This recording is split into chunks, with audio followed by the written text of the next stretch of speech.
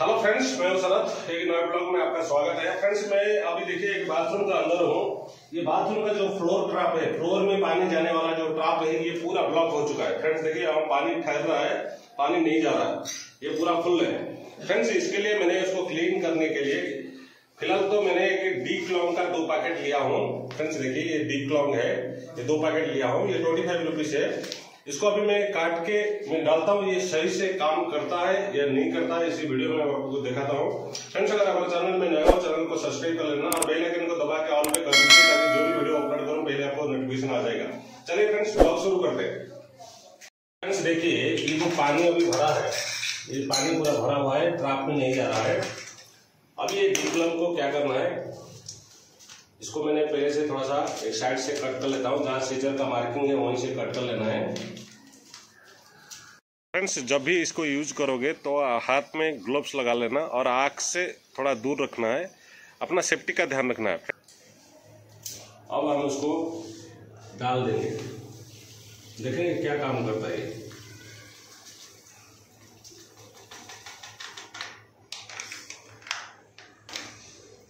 फ़िलहाल तो कुछ झाग भी निकल रहा है, झाग आ रहा है, इसलिए देखेंगे कैसे साफ़ करता है ये। और एक पैकेट भी मैं डाल देता हूँ। ये पानी को खाली कर रहा है, नहीं कर रहा है देखेंगे।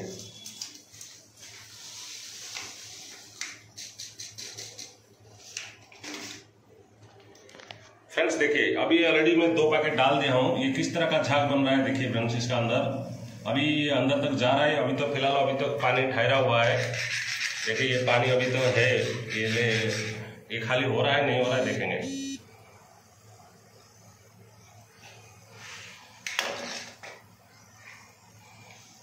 अभी तक पानी पास नहीं हुआ, लेकिन इस तरह का झाग आता रहता है।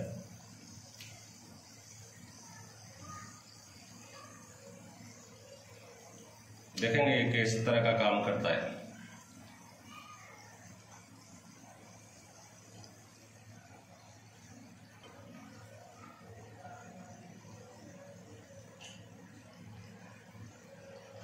इसको थोड़ा स्क्रू ड्राइवर में मिला देंगे।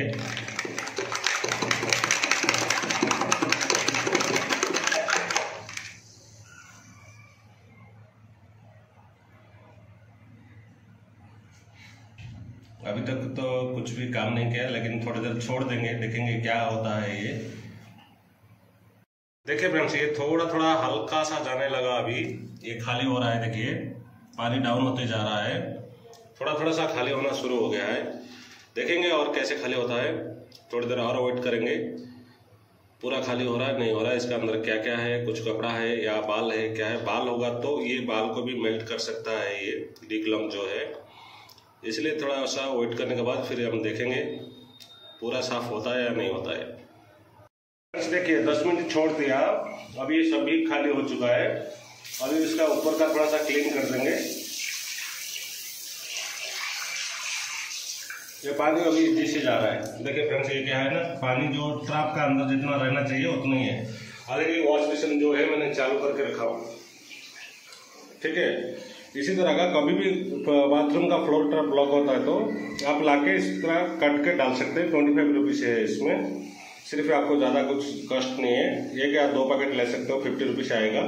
लाके सीधा कट के ये जाली का कवर निकाल के इसका अंदर डाल दिया तो ये थोड़ा सा वेट करना, दस मिनट तक वेट करना, ये साफ़ हो जाएगा।